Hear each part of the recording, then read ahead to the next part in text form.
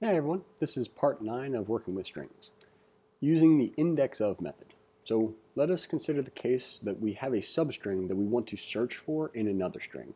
We can do so using the index of method.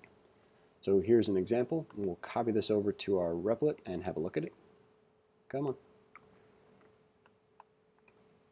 So index of substring, let's move this over a little bit so everything's on a nice and even line. So index of substring 1 is going to be equal to google.index of oog.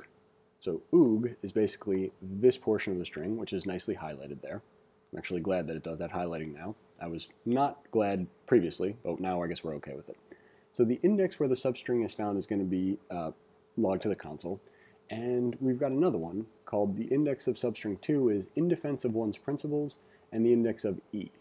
So um, in this one, we're going to say the index where the substring is first found. And the reason for that is that there's more than one E in here, right? So if we highlight this, there's an E here, here, here, here, and here.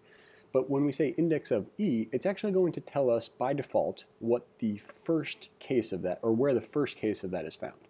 So if we log this to the console, we should see for Google and OOG, we should see, I think, 1.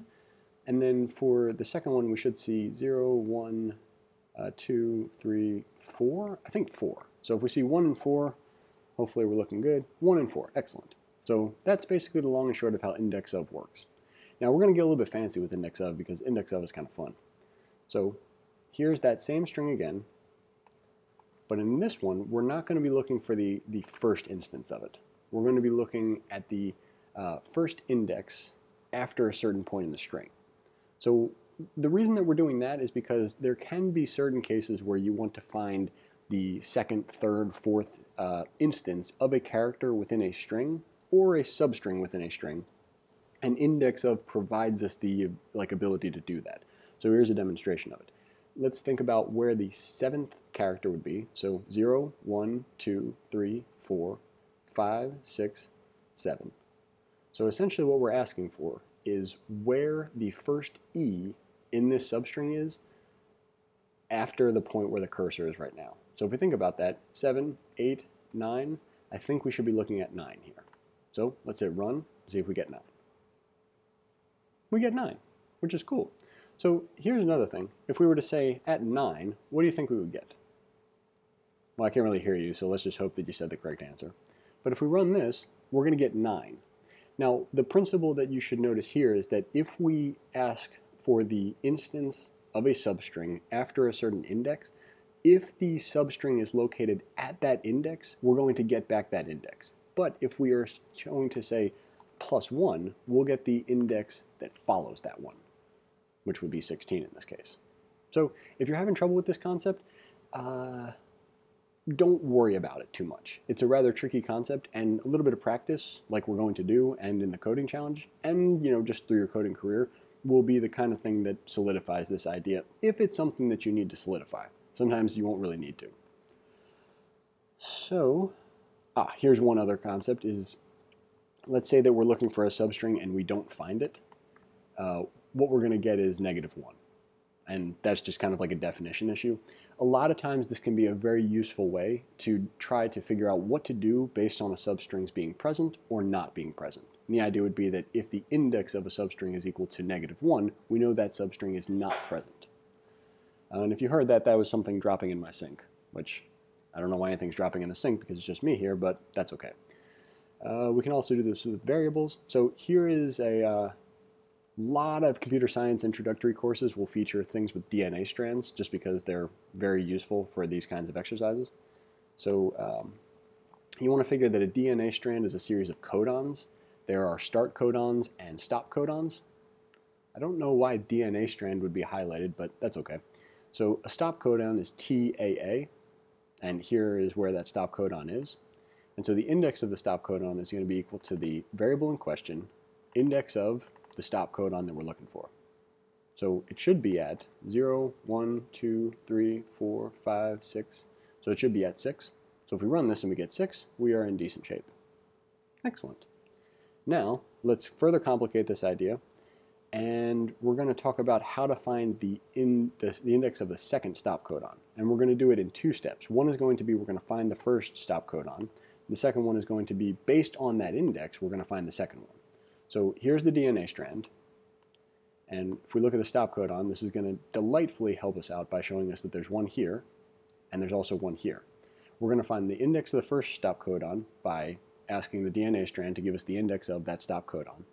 Then based on that index of the first stop codon, we're going to use that to find the second one by searching the DNA strand for that same stop codon at the index of the first stop codon, which we found here, plus 1. Now that we have all of that, we should be able to paste, or sorry, uh, log to the console. So if this was 6, 7, 8, 9, 10, 11, 12, 13, 14, 15, 16, 17, 18, 19, 20, 21, 22. So somewhere around 22 because I'm not great at counting like that. Excellent, 22. And one more version, but this one just with variables where we demonstrate that if the stop codon is not present, we're going to get negative 1 as a result. So here's our DNA strand. There is no stop codon. As you can see, it hasn't highlighted anything. And so when we ask what the index of the stop codon is for this combination, we're going to get negative 1. Very useful concept to keep in mind in the event that you want to do something based on either finding a substring or not finding a substring. So let's talk about the index of coding challenge. We are going to complete a function that takes in two parameters, a string and a substring, and returns the index of the string where the substring can be found. Your function should create an index variable and assign it to a call of the index of method on the string and passing okay so we're going to assign it to a call of the index of method on the string and passing substring as an argument and return the index variable. So in case that's kind of difficult to parse, that's what we're doing here. We're calling the index of method on the DNA strand, passing the stop codon. Uh, below are examples of the code running, assuming that you will have completed the described function, apply index of. Very simple approach here. We're just going to be following basically the documentation exactly, but not the documentation for finding the second codon or the second instance of a substring, or for, well, that one kind of does apply, but we're not going to be doing any sort of uh, wrinkles to this, which is to say we're not looking for the second stop codon or the second instance. We're just looking for the first instance. So the basic documentation that we have here with just uh, the index of the substring, just the string dot index of the string, the substring we're looking for, that's, that's what's going to get the job done for us.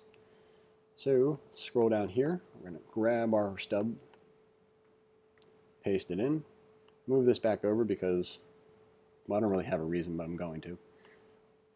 Grab our test cases, which are starting to become a little bit more robust, but that's okay. It's the same idea. We come up with a couple of variables to call the function with. We supply those variables as arguments, and then log to the console whatever result we get. Compare that to what we think we should get, and then go from there. So if we well, we're not going to run both these yet. We're going to run it after we write the function. So create an index variable, assign it to the index inside of a string where substring can first be found, which, if we recall the documentation, is just string.index of substring. Then we return the index variable. So if we run this and we get 5 and 11, we know we are approaching good shape.